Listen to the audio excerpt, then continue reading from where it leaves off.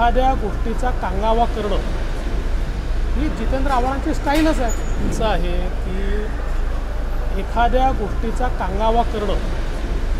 ही जितेंद्र आव्हाडांची स्टाईलच आहे. त्यामुळे कुठल्याही गोष्टीच्या अशा प्रकारे उदात्तीकरण करण्याचा प्रयत्न ते करत असतात.